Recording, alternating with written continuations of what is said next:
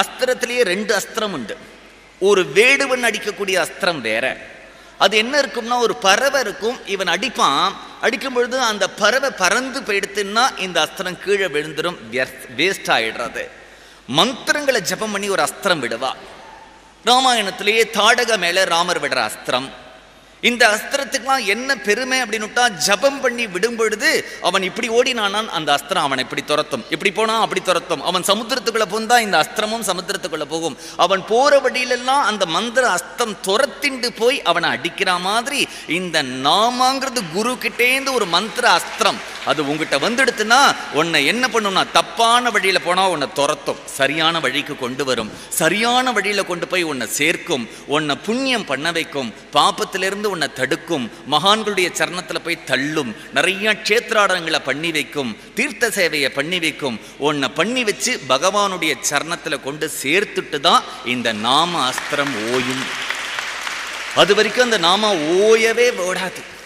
நீ ஒரே ஒரு தரம் தெரிஞ்சோ தெரியாமையோ விளையாட்டா கூட இந்த நாமத்தை சொல்லிட்டியானால் அந்த நாமத்துக்கு ஒரு கவலை வந்துடுத்தோ இவன் நம்மளை பிடிச்சிட்டு இருக்கான் இவனை சரி பண்ணணும். நீ ஒரு பத்து நாள் இருபது நாள் ஒரு மாசம் ரெண்டு மாசம் உன்னுடைய கோணல் புத்தியால விட்டாலும் கூட என்றைக்கோ ஒரு நாள் அது திருப்பி உன் வாயில வந்து தான் தீரும். விடவே விடாதது. என்ன பண்ணும்னா அதுக்கு கவது ஒரு நண்பன் இருக்கான் நம்மளோட பழகினா ஒரு ஆபத்துல நம்மளை கைவிட்டுட்டு போயிட்டான் அப்படிங்கிற மாதிரி நாம கைவிடவே விடாது. ஏதோ காப்பாத்திட்டு அப்புறம் கைவிட்டுடுத்து அப்படிங்கிறது எல்லாமே உன்னை பகவானுடைய சரணத்துல கொண்டு சேர்க்கிற வரைக்கும் தள்ளுற இடத்துல தள்ளி சேர்க்கிற இடத்துல சேர்த்து விளக்குற இடத்துல வேக்கி நம்ம பண்ண வேண்டியதெல்லாம் என்னன்னா நாக்கில் அந்த நாமம் மட்டும் நர்த்தனம் ஆடிண்டே இருந்தா போறோம் நான் நாமா சொன்னதுனால என்ன ஆக போறது? நான் எதை விட்டேன்? புரந்தரதாசர்னு ஒரு மகாத்மா இருக்கார். இந்த நாம கீர்த்தனத்தையே அழகாக ஒரு சித்தாந்தமாக சொல்கிறார் என்னன்னா எல்லா வேலையும் பண்ணிட்டு நாம நாமா சொல்லலாம்னு சொல்கிறோம் இல்லையா? நீ சாப்பிட்டுண்டே நாமா சொல்லலாம் தூங்கிண்டே நாமா சொல்லலாம் சமைச்சுண்டே நாமா சொல்லலாம் காரில் போய் நாமா சொல்லலாம் ஆட்டோவில் போய் நாமா சொல்லலாம் செருப்போட சொல்லலாம் குளிக்காமல் சொல்லலாம். குளி நான் இப்போ கூட நாம கீர்த்தனம் பண்ணக்கூடிய எல்லாரையுமே பார்த்து நானாக யாரையும் பார்த்து துளசி மாலை போட்டுக்கோன்னு சொல்ல மாட்டேன். கோபிச்சந்தனை இட்டுக்கோன்னு சொல்ல மாட்டேன். எதுவுமே சொல்ல மாட்டேன். ஏன் அப்படின்னுட்டா நாமாவுக்கு அது கூட தேவை கிடையாது நாமா மட்டுமே போதும். நீ பண்ணிண்டா சந்தோஷம். ஒரு சின்ன ரெஸ்ட்ரிக்ஷன்ஸை கூட அதுக்கு நான் விதிக்கிறதுக்கு விரும்பலை. அப்புறம் ரெஸ்ட்ரிக்ஷனோடு இருக்கிற நாமா தான் பலன் சொல்லுங்கிற மாதிரி ஆயிடும் இல்லையா? அப்புறம் விதி நிஷேதம் வந்துவிடுறது அதுக்கு அப்போ நியம சாமானிய அனபேக்ஷம் அப்படிங்கிறது பொய்யா போயிடும் இல்லையா? நீ பண்ணிண்டா சந்தோஷம்தான். அந்த நாமா உன்னை பவித்திரமாக்கும். விடவே விடாது. இது நம்முடைய வாக்கில் மகான்கள் சொன்ன மார்க்கம். அந்த மார்க்கத்தை தான் திரும்பி திரும்பி திரும்பி திரும்பி நம்ம எல்லாருக்கும் சொல்லிட்டு இருக்கோம். சொல்றது மட்டும் இல்லாம இன்றைக்கு மதுரையில இப்படி ஒரு பிரார்த்தனை கூட்டம் நாம சங்கீர்த்தனம்னு உடனே இவ்வளவு பேர் வரத்துக்கு காரணம் என்னன்னா ஒவ்வொருத்தரும் வாழ்க்கையில அதனுடைய அனுபவத்தை உணர்ந்திருக்கா? எல்லாரும் ஏதோ ஒரு விதத்துல இந்த நாமகீர்த்தனத்துடைய வாழ்க்கையில மாற்றத்தை கொடுத்துருக்கு அது அவர்களுக்கு மனசில் அமைதி வந்திருக்கு சாந்தி வந்திருக்கு. ஏதோ ஒரு பலன் அவர்களுக்கு தெரிந்தும் தெரியாம நெருப்ப ஒருத்தன் தொட்டுட்டானால் அது சுடாம விடவே விடாது இல்லையா? அவன் தெரிந்து தான் சொல்றானோ தெரியாம சொல்றானோ இந்த நாமகீர்த்தனத்துக்குள்ள ஒருத்தன் உள்ள வந்துட்டானால் அவனுக்கு அவனுடைய அபிலாஷைக்கு தகுந்த மாதிரி அது ஏதோ ஒரு பலனை அவனுக்கு பண்ணத்தான் பண்ணும். இது உணர்ந்ததுனால தான் நம்ம விருதுநகராக இருக்கட்டும் சிவகாசியாக இருக்கட்டும் தூத்துக்குடியாக இருக்கட்டும் நம்ம எந்த ஊரில் போனாலும் ஆயிரக்கணக்கான ஜனங்கள் ஆசையாக ஓடி வரா இந்த நாம கீர்த்தனத்தை கேட்கணும்னு அவ்வளவு பேரும் இடையில எறிந்து நாமா சொன்னதுனால தன்னுடைய வாழ்க்கையில் ஏற்பட்ட அனுபவங்கள் எல்லாம் சொல்றா. உங்களுக்கும் அத்தகைய அனுபவங்கள் வேணும் அப்படின்னுட்டா தொடர்ந்து நாமாவை சொல்லிகிட்டே இருக்கணும்.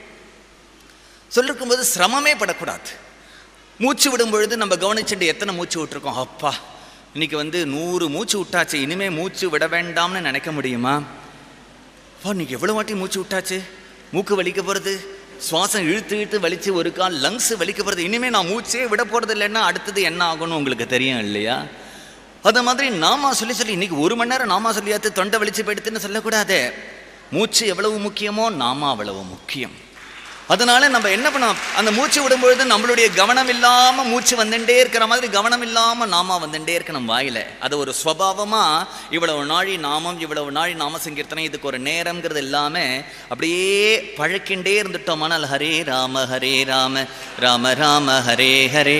ஹரே கிருஷ்ண ஹரே கிருஷ்ண கிருஷ்ண கிருஷ்ண ஹரே. சக்ருத்துக்கு ஸ்மரண மாத்திரேன சர்வ மங்கள தாயகம். நாமா என்ன பண்ணும் நீ ஒரே ஒரு தடவை நாமா சொன்ன இல்லையா? அந்த நாமா கூட வீணாகிறது இல்லை ஒருத்தர் எங்கிட்ட வந்தார். இந்த மாதிரி கிராமத்தில் ஒரு கோவில் இருக்கு. அந்த கோவிலுக்கு கும்பாபிஷேகம் பண்ணணும் திருப்பணி பண்ணணும் நீங்கள் உதவி பண்ணணும் அப்படின்னு சொன்னார். ஒரு பட்ஜெட் பார்த்தா அது கோணிக்கணக்கில் இருந்தது. நான் சொன்னேன் இப்போ என்னால் இதுக்கு உதவி பண்ண முடியாது. ஆனால் இந்த திருக்கோவிலில் திருப்பணி நடக்கிறதுக்கு நான் உங்களுக்கு ஒரு வழி சொல்கிறேன் என்ன அப்படின்னார்? ஒரு வாரம் அந்த கோவிலில் நம்ம நாம சப்தாகம் வச்சுப்போம் அப்படின்னு சொன்னேன். அவர் அதற்கெல்லாம் சம்மதிக்கலை அவர். ஏன் அப்படின்னா அவர் ஏதாவது பணம் கொடுத்தா திருப்பணி பண்ணிட்டு போகலான்னு வந்திருக்கும் பொழுது நாமா சப்தாகம் எங்கள் ஊரில் அதெல்லாம் யாரும் சொல்ல மாட்டா அப்படின்னார். நான் சொன்னேன் நானே வேணுமானாலும் பக்தர்களை அனுப்புகிறேன் அப்படின்னேன். இல்லை தங்குறதுக்கெல்லாம் வசதி கிடையாது. அதை நாங்களே பார்த்துக்கிறோம். அவர் அப்புறம் எங்கிட்ட மாட்டின்றார் அவருக்கு வேறு வழி இல்லை. ஒரு தேதி வச்சு அந்த ஊர் கோவிலில் ஒரு ஏழு நாளைக்கு கார்த்தாலம் ஆறுலேருந்து சாயங்காலம் ஆறு வரைக்கும் நாம சப்தாகம் நடந்துருந்தது ஏழாவது நாள் அன்னைக்கு யாரோ ஒரு பெரிய பணக்காரர் காரில் வரார். காரில் வந்துட்டு ஒரு பையில் ஒரு பேப்பர் வச்சுட்டுருக்கா இது இன்ன ஊரா அந்த ஊரா போர்டா இந்த கோவிலான்னு விசாரிச்சுட்டு வரா அந்த கோவில் அதிகாரிகள் அந்த போய் கேட்குறா என்ன விஷயம்? நாங்கள்லாம் இப்போ பாம்பேயில் செட்டில் ஆகிட்டோம் பெரிய பணக்காரா. எங்கள் குடும்பத்தில் நிறையா குழப்பங்கள் வந்தது. என்ன இதுக்கெல்லாம் காரணம்னா நாங்களுக்கு எங்கள் தாத்தா பாட்டிக்கெல்லாம் இந்த ஊராம் இந்த ஊரில் இருக்கிற கோவிலை கவனிக்காததுனால தான் எங்கள் குடும்பத்தில் இவ்வளோ கஷ்டம் ஏற்படுறதுன்னு ஒருத்தர் சொன்னார். அதனால இதுக்கு எவ்வளவு பணம் வேணுமோ நாங்களே முழுக்க திருப்பணி பண்ணி கொடுத்துடுறோம். என்னைக்குனார்? அந்த ஏழாவது நாள் ஆறு மணிக்கு நாமா முடிய போகிறது நாலு மணிக்கு அவ வரா. அப்புறம் அந்த கோவிலில் என்னை கூப்பிட்டா. நான் ஒரு சமயம் போகும்பொழுது அந்த பகவானை பார்க்கும்பொழுது சொன்னேன் இது வரைக்கும் நாம சங்கீர்த்தனம் மனுஷியாளுக்கு தான் நன்மை பண்ணுறதுன்னு நினச்சிட்டு இருந்தேன் இப்போ தான் அது தெய்வத்துக்கே கூட நன்மை பண்ணுறது அப்படின்னுட்டா நாம கீர்த்தனத்தினுடைய மகிமை. ஹரே ஹரே ராம ஹரே ஹரே. ஹரே கிருஷ்ண ஹரே கிருஷ்ண கிருஷ்ண கிருஷ்ண ஹரே ஹரே.